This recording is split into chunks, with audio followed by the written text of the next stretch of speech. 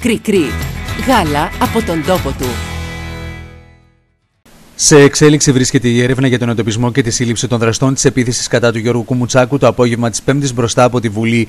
Η έρευνα συνεχίζεται. Έγιναν κάποιες προσαγωγές και εξετάστηκαν ορισμένα άτομα, αλλά συνεχίζεται και σε συγκεκριμένους γεωγραφικούς χώρους και ψάχνουμε για κάποια άτομα που κατά πάσα πιθανότητα θα εντοπιστούν γιατί υπάρχουν καθαρές και οι φωτογραφίες τους και ξέρουμε που κινούνται, δήλωσε ο αναπληρωτής Υπουργός Προστασίας του Πολίτη Νίκος Τόσκα στο Μέγκα. Ο κύριος Τόσκα έδειξε προς τη Χρυσή Αυγή, σημειώνοντας πως κατά πάσα πιθανότητα πρόκειται για ανθρώπους αυτού του πολιτικού χώρου. 20 χρόνια στην Υπουργείο Εξωτερικών αγωνίστηκα. Έδωσα, έδωσα τη ζωή μου σε εκνοτικές σχέσεις και, και για το θέμα το ποντιακό. Να είστε καλά. Αυτή είναι η ιστορία. Να περάσει. Να περάσει. Τι σας χτύπησαν! Τι σας χτύπησαν! Τι σας χτύπησαν! Παράλληλα, ο αναπληρωτής Υπουργός Προστασίας του Πολίτη άφησε και εχμές για τη στάση των αστυνομικών που ήταν στο σημείο της επίθεσης, λέγοντας πως υπάρχουν ερωτηματικά στο εάν θα μπορούσαν να κάνουν περισσότερα και αναφέρομαι καθαρά σε ό,τι αφορά στην σύλληψη των δραστών, τα οποία θα διευκρινιστούν εντός της ημέρας. Άκουσα τα όσα υπόθηκαν από την πλευρά της ακραίας ρατσιστικής και μυσαλόδοξης πολιτικής δύναμης χώρας. Θέλω να σας πω λοιπόν, επειδή εγώ ήμουν εκεί, ότι τόσο η φρασιολογία, όσο και οι πρακτικές, όσο επίσης και το γεγονός ότι δίπλα σε αυτήν την ομάδα που ξεκίνησε τις βιοπραγίες, ένα λεπτό πριν ήταν μαζί τους ο βουλευτής κύριος Γρέγος, τον οποίο είδα, με καν...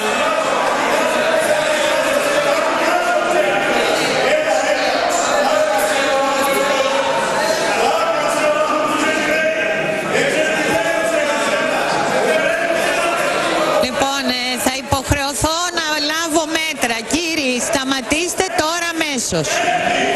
Λοιπόν, σταματήστε παρακαλώ τις φωνασκίες. Συνεχίστε κύριε Κουμτσάκου. Μου έδωσαν τη δυνατότητα να πω αυτό το οποίο είπα στην πρωτολογία. Δεν συνηθίζω να ψεύδομαι, δεν το κάνω ποτέ και δεν το έκανα και αυτή τη φορά. Έχοντας πει μόλις αυτά κυρία Πρόεδρε, θέλω να επαναλάβω, να υπογραμμίσω με την πιο σταθερή μου πεποίθηση ότι τα χέρια της βίας τα οπλίζουν προκλητικές δηλώσεις όπως αυτές που έγιναν εκ μέρους του Υπουργού, ο οποίος πρέπει να αποφασίσει πότε είναι επιστήμον και πότε υπουργός. Είναι ηθικός αυτούργος αυτών των βιοπραγιών. Από εκεί και πέρα η Χρυσή Αυγή είναι εκείνη η οποία καλλιεργεί μονίμως και σταθερά αυτή την πρακτική και αυτό το λόγο.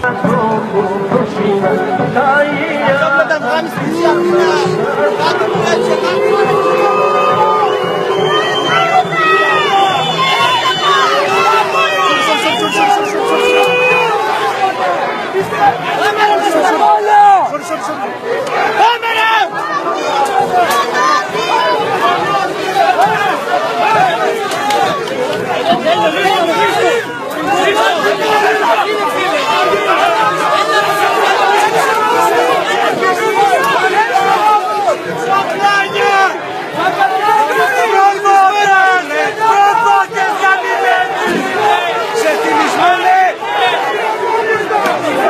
Την ίδια ώρα, ο Σεραϊκής καταγωγής Παύλος Μιστακίδης, ο οποίος βρέθηκε στο σημείο των επεισοδίων, δήλωσε μιλώντας στο κεντρικό δελτίο ειδήσεων της τηλεόρασης του Επιλογές. Καταρχήν, εγώ βρέθηκα στην Αθήνα για άλλη δουλειά, ήρθα για τα στρατόπεδα. Ναι. Ε, πήγε καλά η υπόθεσή μας και στο Πράσινο Ταμείο. Ε, αλλά επειδή το ξενοδοχείο είναι στο Σύνταγμα και άκουσα ότι γίνεται πορεία των ποντίων για αυτόν τον λόγο και διαμαρτυρία, κατέβηκα και συμμετείχα και εγώ στην ε, συγκέντρωση. Ε, όλα πήγαιναν καλά. Ε, οι βουλε... Κάποιοι βουλευτές της Νέας Δημοκρατίας, ο κύριος ε, Κουμουτσάκος, Ναι. ο κύριος ε, Γκιουλέκας, ε, ε, μίλησα και με τον κύριο ε, Καράουλου, τον Θόδωρο, αυτοί Ναι. προς τιμή τους και ένας άλλος βουλευτής ε, βρέθηκαν, ε, κατέβηκαν, είχαν όλο το θάρρος και κατέβηκαν. Με αυτόν Εμείς τον τρόπο γνωρίζαμε- φαντάζομαι θέλ- θέλησαν να δηλώσουν έμπρακτα την ε, στήριξή τους Ναι. ή εν πάση περιπτώσει τη συμφωνία τους σε αυτό που διαδήλωνε ο κόσμος. Αυτό δεν έγινε καταρχήν κατανοητό, δεν το γνωρίζαμε ούτε ε, ε, μετά ε, που πληροφορήθηκε από τον ε, βουλευτή μας τον ε, κύριο Τάσο τον Μεγαλομίστακα ότι μίλησε ο κύριος συγκεκριμένος ο βουλευτής ο Γιώργος ο Κουμουτσάκος ότι μίλησε υπέρ ε, των ε, ποντίων, δεν το γνωρίζαμε αυτό εκείνη τη στιγμή. Ο, το πλήθος εξαγριώθηκε όταν είδε τους βουλευτές, δεν ξέρω για ποιους λόγους.